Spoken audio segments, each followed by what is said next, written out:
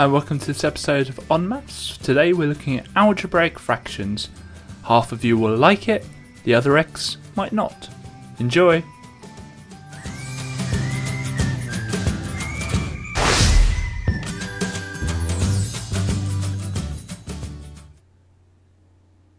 Hi, welcome to this episode of On Maths. So we're looking at algebraic fractions today.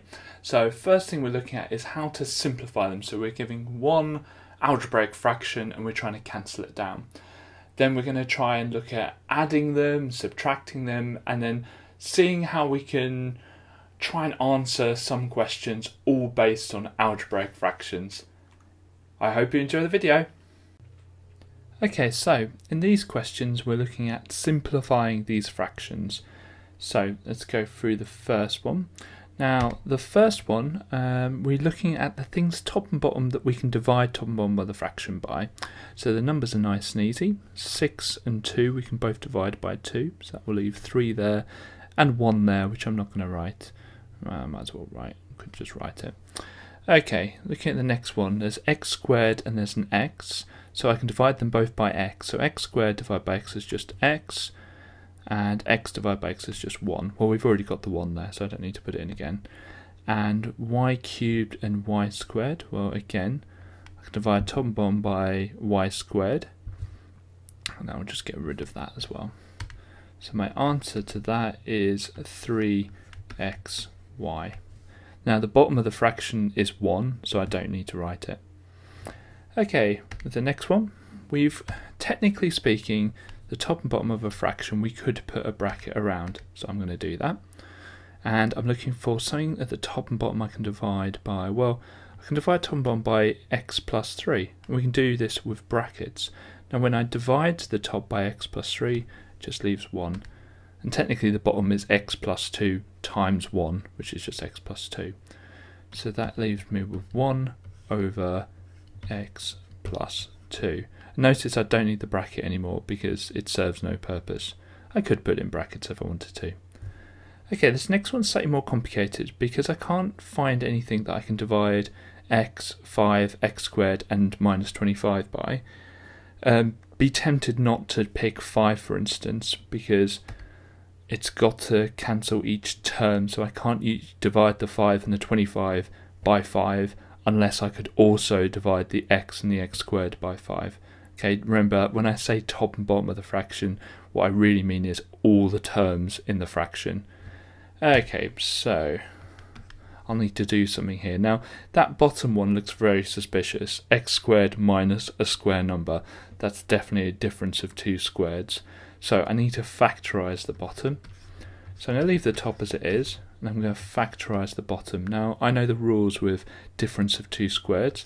I put the x at the start of each of the brackets and then I put the square root at the end and one of them is going to be a plus and one of them is going to be a minus. Now if I put brackets around the top one you'll notice that I can divide top and bottom by the x plus 5 which leaves 1 over x minus 5. Okay, pause the video and have a go. Okay, so let's do the first one. 10 and 5, I can divide them both by 5. Now, x to the power of 5 and x to the power of 3, I can divide them both by x to the power of 3. So that leaves that as 2. Gets rid of that. Now this one's a bit more complicated. I start with 2 and when I divide with in, uh, indices I take away the powers. So I can technically divide these by y to the power of 5 and that will leave minus 3 there. So you could have the answer of 2x squared y to the power of minus 3. Or what you could do is say 2x squared over y to the power of 3. Both of them will to give you uh, a mark. Okay, let's have a look at the next one. Now don't forget we can put brackets around the fractions uh, at the numerator or denominator and I'm going to cross off that x plus 7 and that's just going to leave me with 1 at the top and x minus 3 at the bottom. Okay, last one. Well, I can't divide top 1 by anything yet until I factorize the bottom. It's difference of 2 squared, so that's going to be x plus 4, x minus 4, either way around. Okay, I can make sure I put brackets around the top to remind me that I can just cross them out. And I should really put a 1 on these. So that equals 1 over x minus 4. Okay, so in these questions we're doing the same thing, but we've got to do uh, a little bit of work first. Now, the last one we had to um, uh, factorize, and all of these we have to factorize. So, first of all, we're going to start by factorizing where possible. So I can factorize the top, Um, and I'm fine. I know that the first thing in both the brackets will be x. So two numbers that add to 5 and times together to make 6 so that's going to be 2 and 3. And they're both positive. Over, and then it already gives us x plus 3. And this is a little cheat. If it gives you the bottom as x plus 3, you know one of the brackets at the top has to be x plus 3. And yeah, it's not a cheat, but we know we can use it. And we can cross off the x plus 3s from the top and bottom. And because the bottom of the fraction is 1, we can just write the top, which is now just x plus 2. So all of that algebra was basically saying x plus 2. So if you were given that on the uh, on the exam, right, substitute in 3 and you'd sit there on your calculator for a while trying to work it out, you I can just tell you now the answer's 5. Genius, right. Let's have a go at the next one. So the difference of two squares again. So it's going to be x plus 4 and x minus 4. It's nice and easy start. Now, when I'm looking at the bottom, I know one of the brackets will either be x plus 4 or x minus 4. So just bear that in mind. So let's have a look. Two numbers that add together to make 2 and times together to make minus 8. Uh, I'm thinking, well, what it's going to involve the number 4. So one of them's going to involve the number 4. And to get the 8, I need the 2. And to get the plus 2 there, I want that 4 to be positive and the 2 negative otherwise it would be a minus 2x. And then I'm just going to cross off the bracket that's the same top and bottom. So I'm left with x minus 4 over x minus 2. And you can't get any simpler than that. Okay, last one is a little bit harder, but because I want to kind of cheat a little bit, I'm going to do the bottom fraction first because I find it a bit easier. So we've got x and we've got x. Okay, so they've got to add together to make 3 and times together to make 2. So the only way we can do that is 1 and 2. Now I can cheat a little bit here because I know that the one one of the brackets at the top is going to be either x plus 1 or x plus 2. Um, now I know that there's going to be a 2x and an x because there's no other way of getting that 2x squared. And I did show you another method in a different video of doing these, but I'm just going to do it kind of trial and error because the numbers are quite small. So let's have a think. Uh, I need two numbers to multiply together to make three, so that's going to be one and three. If I put the three in the second bracket, it will times by the two and it will just get too big. So I'm going to put the three here. Now, looking at the bottom, I know that one of the brackets will be x plus 1. And so to get the negative 3 there, I need that to be minus. Now if it takes you a little bit longer to get that bracket using the method I showed you in a previous video, then that's absolutely fine. You can take your time with it. Okay, so we've got the x plus 1 at the top and bottom, and that leaves me with 2x minus 3 over x plus 2. Okay, pause the video, have a go.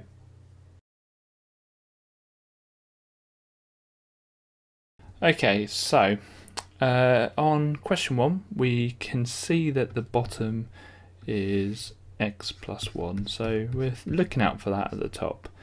So we're going to have two brackets, both beginning with x, and we're looking for two numbers that add together to make 4 and times together to make uh, 3, so that's going to be 1 and 3.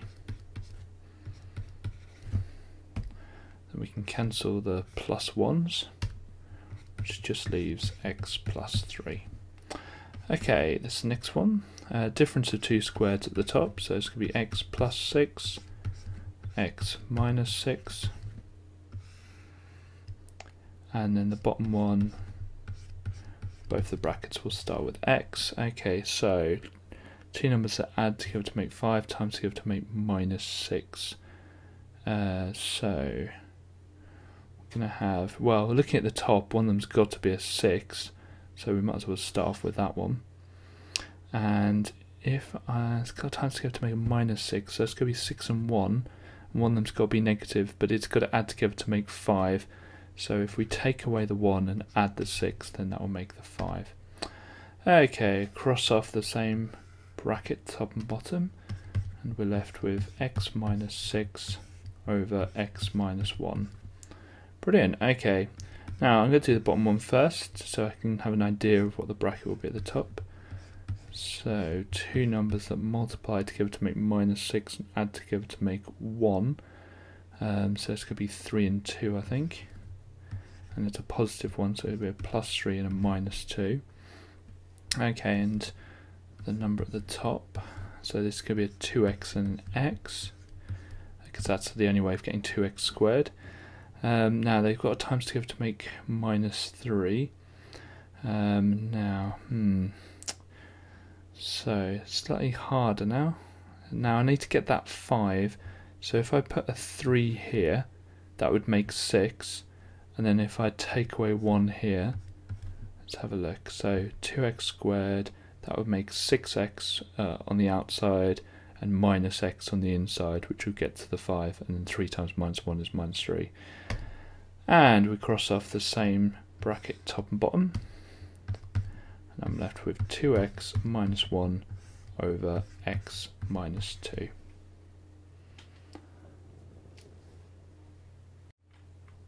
Okay, so we're going to add and subtract with algebraic fractions. And the best thing to do to start off is just think, right, what would you do if they were numbers? Well, if they're numbers, say a third plus a quarter, then the first thing to do is make sure that the bottoms are the same. Well, how do you know what the bottoms would be? Well, one method of doing it is by timesing them together, and that shows you what the common denominator is. Now, it doesn't always give you the best or the, the smallest um, common denominator, but it always works. So how do I times 3? Well, what do I times 3 by to get to 12? Well, 4. So I'm going to times the top and bottom of the first fraction by 4. And the same with the next one, 4 times 3. So I'm going to times top and bottom by 3. So when we add that together, we add the tops and keep the bottoms the same. Now, we're going to do exactly the same thing, but with algebra we're going to think, well, how can I get to the bottoms the same? Well, the first question, the bottom's already the same, so we've done the hard bit, and all we need to do is add the tops. There we go, it's that easy. Now the next one, well, what are the bottoms going to be? Well, the bottoms are going to be that 7 times the x plus 3, and it's really important to think of that x plus 3 in brackets. So it's going to be 7 times x plus 3 and the next fraction we want 7 times x plus 3. Okay, so let's have a look what happens. So the first fraction I need to times top and bottom by 7. So 2 times 7 is 14. The next bracket I need to times top and bottom by x plus 3. So that's going to be 5 brackets x plus 3.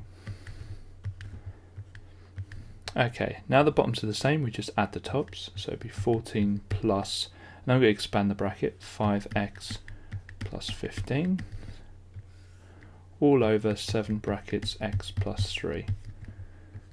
Now let's have a look. 14 plus, uh, 15 is uh, 29 plus 5x over 7 bracket x plus 3.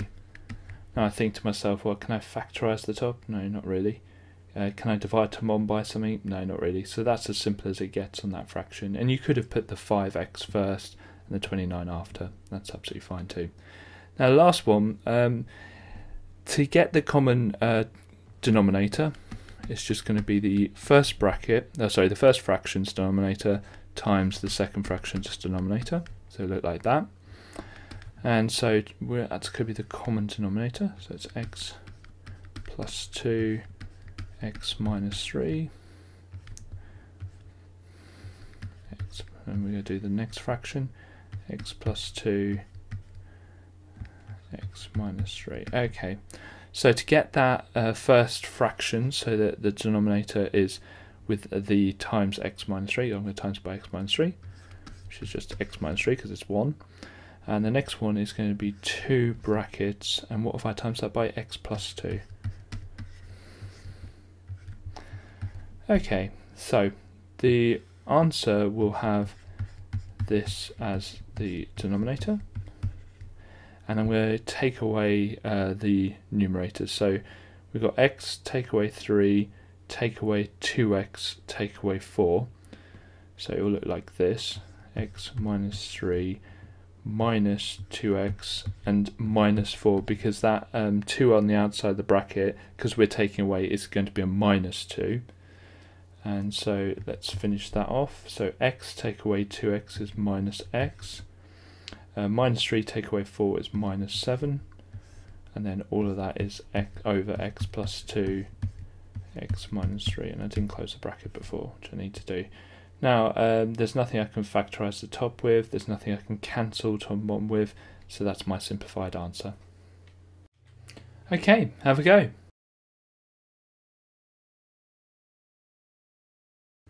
Okay, so to do the first one, well, the bottom's already the same, so it's nice, and we just add the tops. There we go. Next one, I need to get the bottom, so it's 3 brackets x plus 2. So 3 brackets x plus 2, and I need to times the top by 3, so that'd be 6, plus, and then to get this, so it's 3 brackets x plus 2, uh, I'm going to times it by x plus 2, so it's 2 brackets x plus 2, or 2x plus, and so it's going to be 4.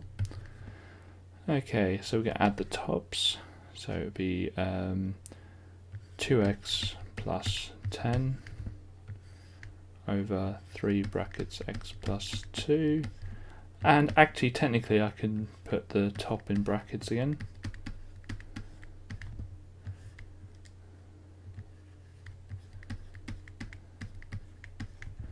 There we go.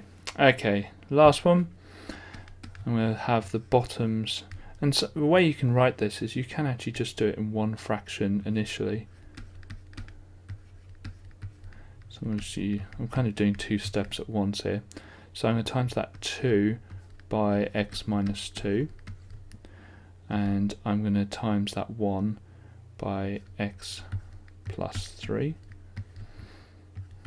And so when I expand the top, it would be 2x minus 4, take away x, take away 3, because there's a minus on the outside that bracket, uh, over x plus 3, x minus 2, and 2x take away x is x, minus 3 take away 3 is minus 7, over x plus 3, x minus 2. Now you might be tempted to expand the brackets, but that's not simplifying the fraction, so you want to keep any brackets in uh, if you have any. Thank you very much for watching this Topic Busters. If you enjoyed this one and want to see more, please look at our YouTube account. Just type in On Maths on YouTube and we come up. Uh, otherwise, go to the website onmaths.com and you can uh, have a go at all of our predictions, Topic Busters, Demon Questions, mini mocks, and countless other things. Thank you very much.